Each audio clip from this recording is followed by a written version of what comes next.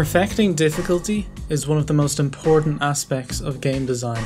We play games to enjoy ourselves, but a lot of that enjoyment stems from the challenges that games present to us.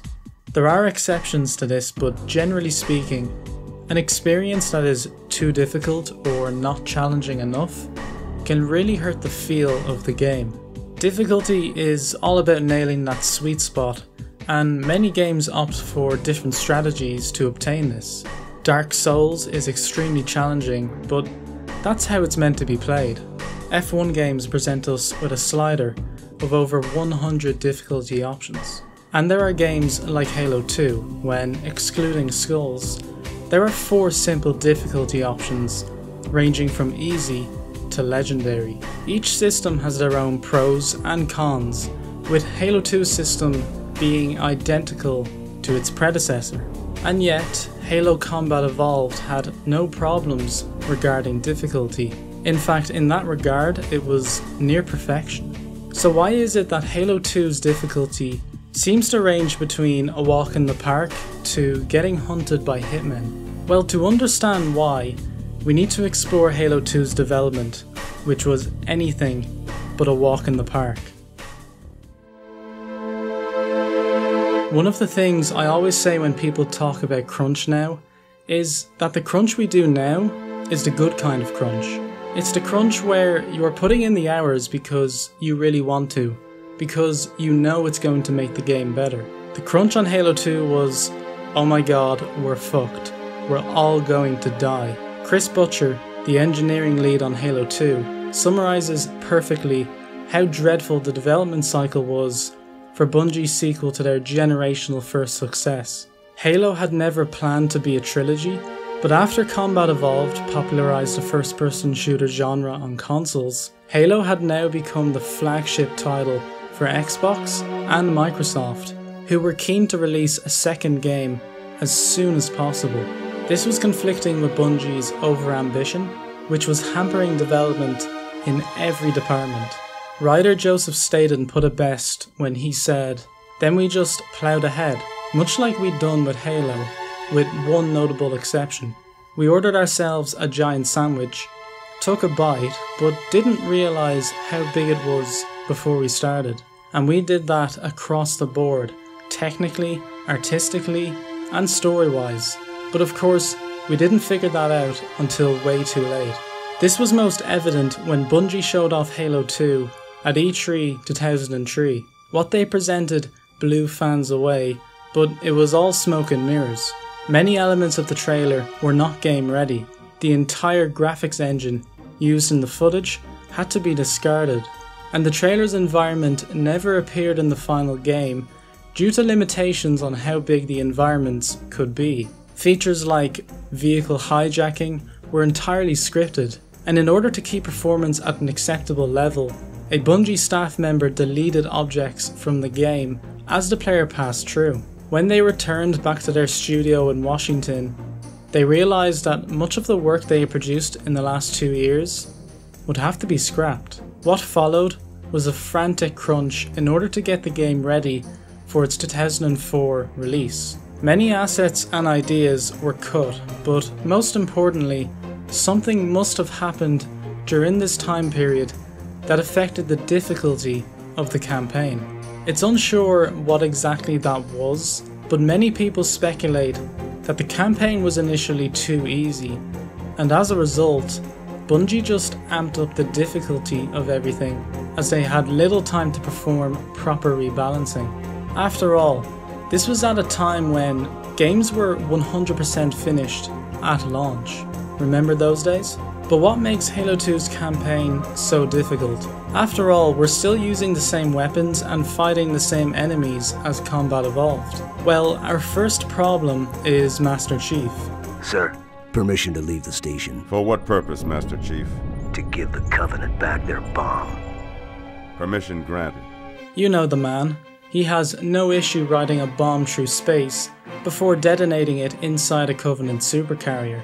Well, in Halo 2, He's a little bitch. The simple truth is that he is extensively weaker than he was in Combat Evolved. Chief now just has shields and cannot manage his health with health packs like before. This, in conjunction with weaker shields, means the player cannot aggressively attack enemies like he once could.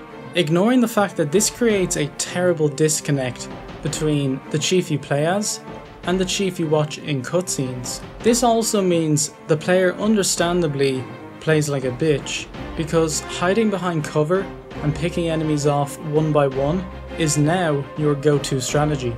And this moves us nicely into our second problem, hard pings. Hard pings are methods used to kill enemies that are quick and consistent. They differ from standard gameplay in that they are normally ways to kill enemies that the designer has not intended the player to utilise, or at least utilise consistently. Halo has a varied sandbox with multiple types of weaponry, and yet, whilst playing Halo 2 on harder difficulties, your two favourite weapons will be a precision weapon and a plasma pistol.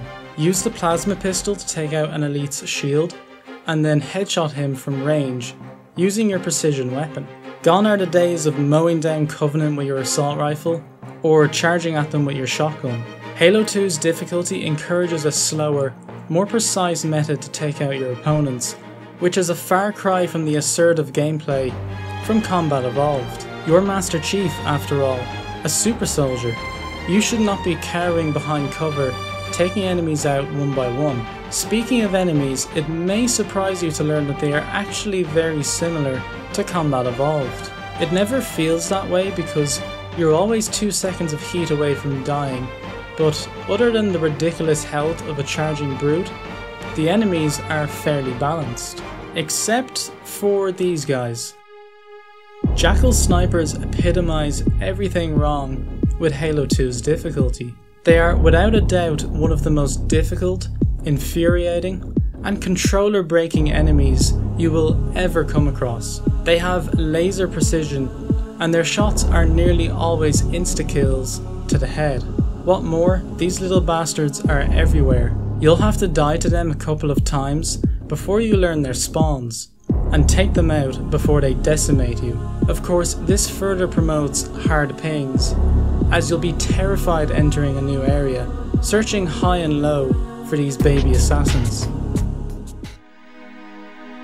The level design in Halo 2 is an undeniable downgrade to Combat Evolved. Gone are the wide open spaces and level of freedom that we're used to.